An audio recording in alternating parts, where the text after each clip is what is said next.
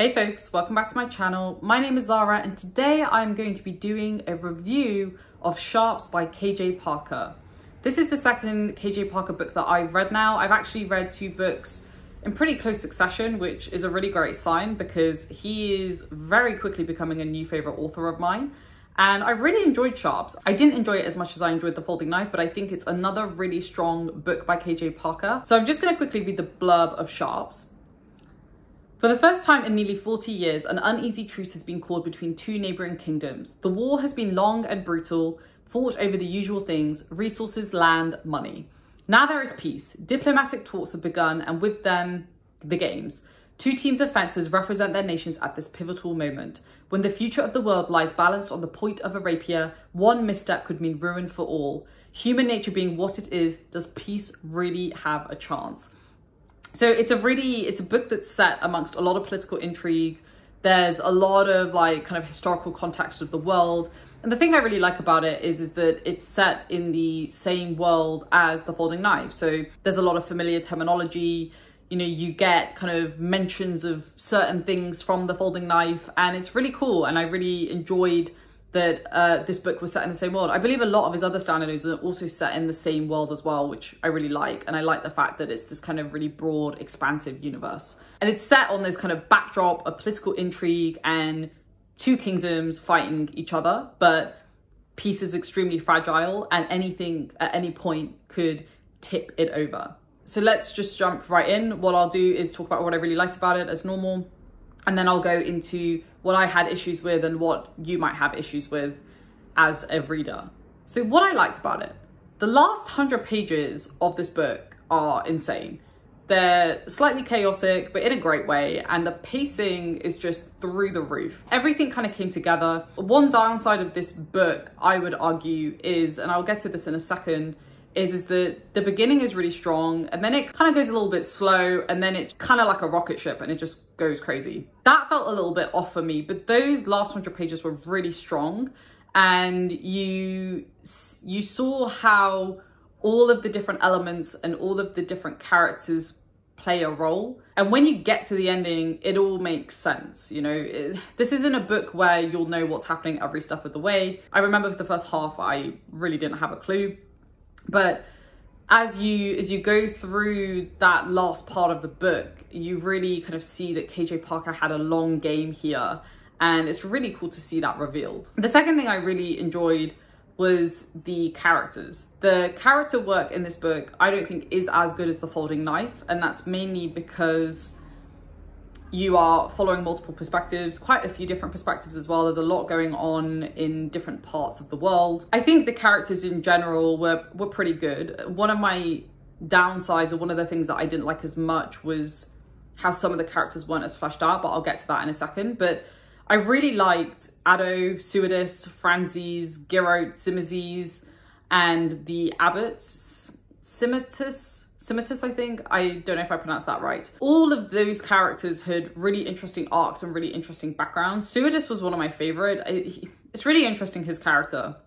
He is definitely experiencing PTSD from the war. So this is set after this kind of big war that happened and Suidas was caught right in the middle of that war. And there's kind of one specific battle that happens that he kind of becomes synonymous with. It's really interesting seeing his characterization throughout the duration of the book because at first you kind of I don't know, he feels quite surface level, but as you get deeper into his psyche, he still lives through experiences from the war is really interesting. And I really like the fact that he was suffering from post-traumatic stress disorder and it was really obvious as the reader and you can't help but feel incredibly empathetic towards him because he is a product of a war that he had no hand in starting. It gives a really brutal look into what war can do to just normal people. You know, they're not they're not the people moving the chess pieces, they're just normal people caught in a battle and you see the impact that it has on him psychologically. And I really like that and I've, I think it was done really well. The other character that I will also mention was Addo. So Addo has a really interesting arc. I'm not going to go into spoilers because I do want this to be spoiler free, but Addo has a really interesting arc. He kind of starts off as this kind of nondescript character at the start, and then he plays a really critical role throughout the book, especially in those last hundred pages.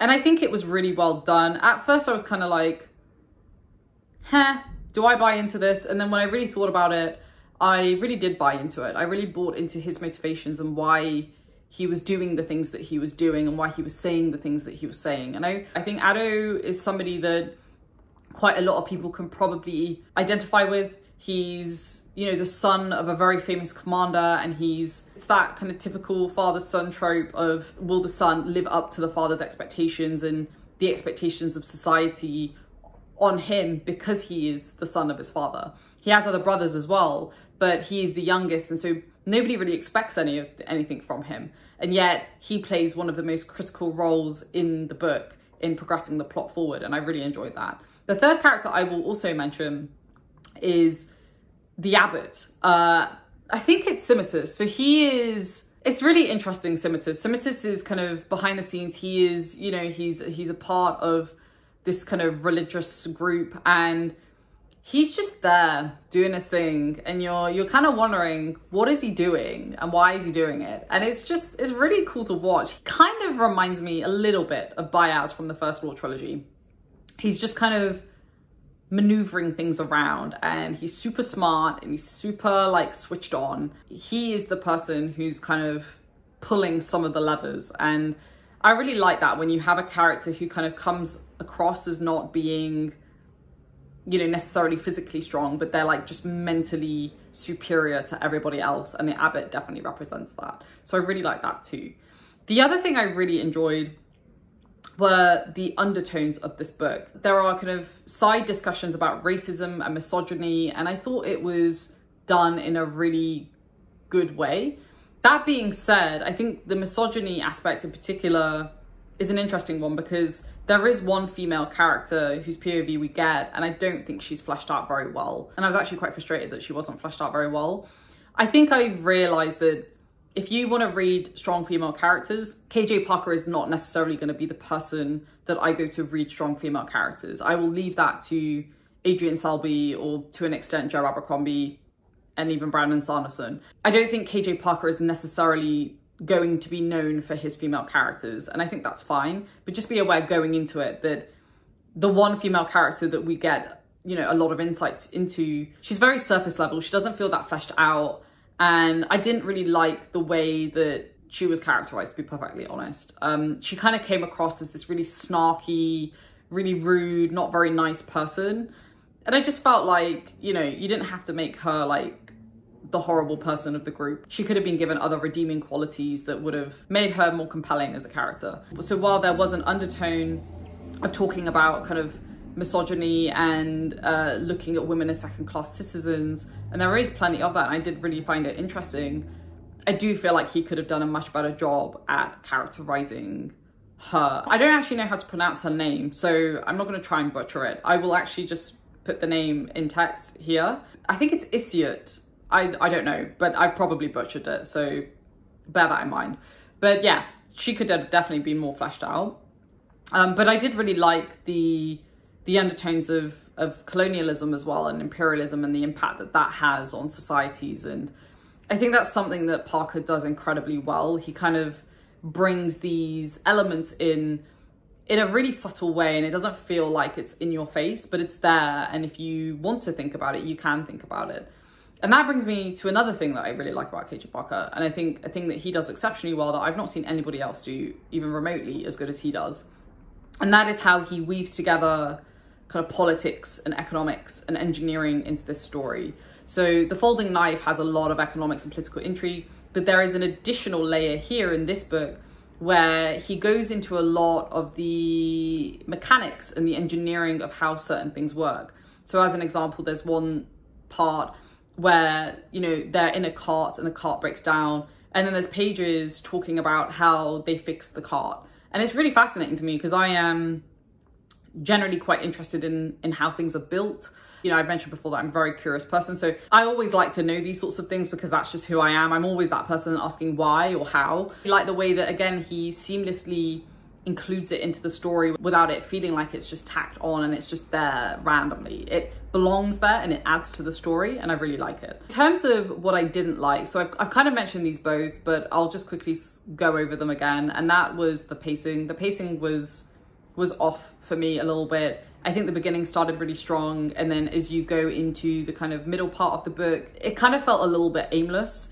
That being said, with the ending, it's entirely justified, but it can feel aimless as you're going through it. And I do think you have to be in a very specific mood to read this type of book. Thankfully, I was in the mood. So bear that in mind that the pacing isn't entirely consistent throughout, but I think it's okay upon reflection.